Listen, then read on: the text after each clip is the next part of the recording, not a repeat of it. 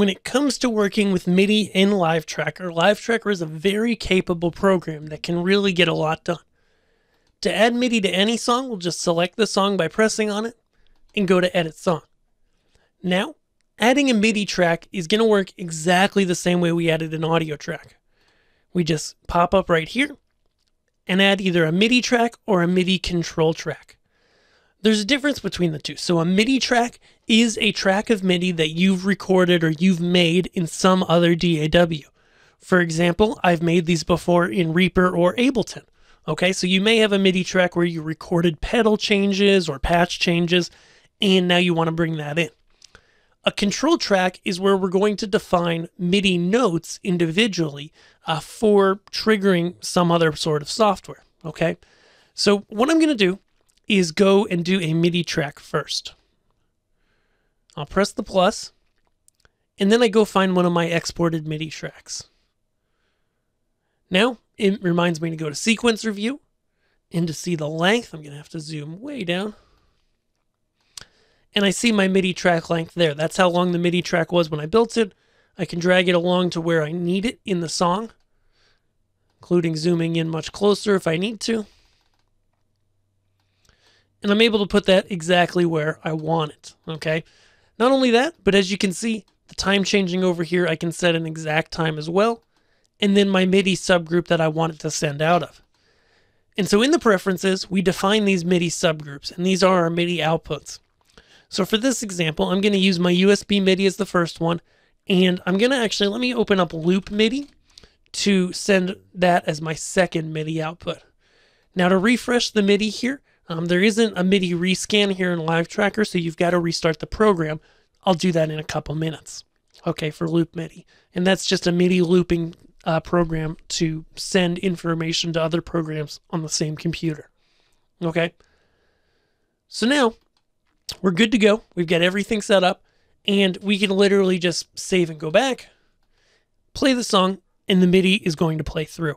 Okay, we're going to see that MIDI on an attached program. We can also do the MIDI control track, which I want to demo next. So I'm going to close LiveTraker. There's never any need to save or anything like that. It's always saving just when you're in the song editor and you have the save changes and backup here. That's all you need to save. Um, so then we're going to go. And this time, instead of using a MIDI export file, we're actually going to go, let me go to a different song. So go to song B here. Notice I have all these different set lists, but the song B is the same in every set list that's not it's not unique in in that way.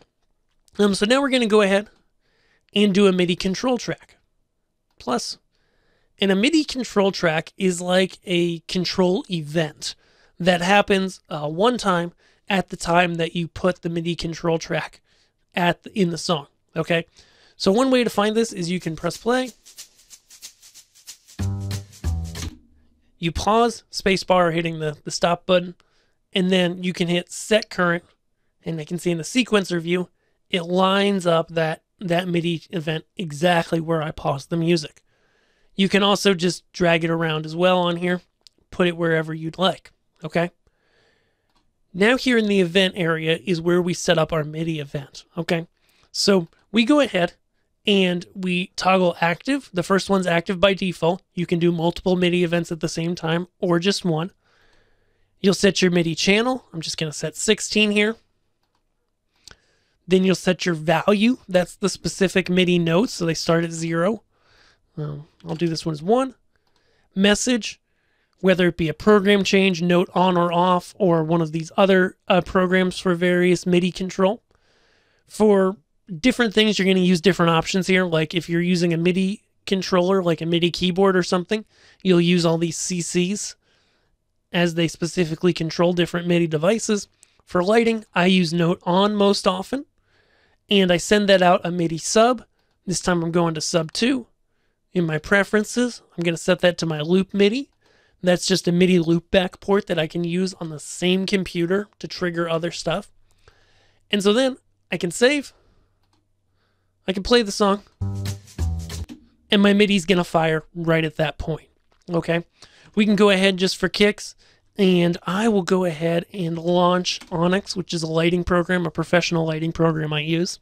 Though I know I can use the MIDI output here in LiveTraker to control many programs, including ones I teach here on Learn Stage Lighting, which are um, DMXIS and Emu, um, uh, LightShark, Light Key, Onyx as well. Um, those are the ones I do. So I'm just going to go in here, load a show. Just so I can show you where the MIDI's coming in. So put him over here, put him here. Once this show loads, I'll be able to show you.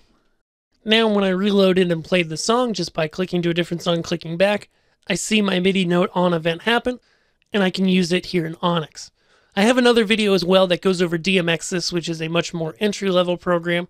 Uh, there are many programs for lighting, and here on Learn Stage Lighting, if you're new to what I do, most of what I do is teach people about lighting, teach people how to control it, and how to get the most out of it. Okay, so that's the basics of MIDI in LiveTraker. It really is as simple as either bringing in a control track event.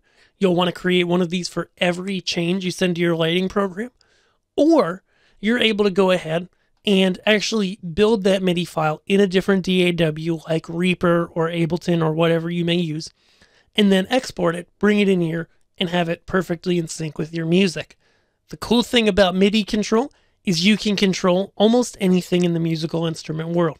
You can control not only lighting, but audio consoles, effects, units, you know, keyboards and guitar amp modelers and all kinds of stuff. And so if you really take the time to dive into it, there's a lot of really powerful stuff you can do. Awesome. I hope you've enjoyed this. And if you did, and if you are going to buy LiveTraker, please do go through my link below so that I get a small commission for sending you that way. And it's just a great way to thank me for making these videos and no additional cost to you. In fact, you can actually get 5% off if you use my coupon code below. Next, we're going to talk about adding click tracks in LiveTraker. It's easier than you think.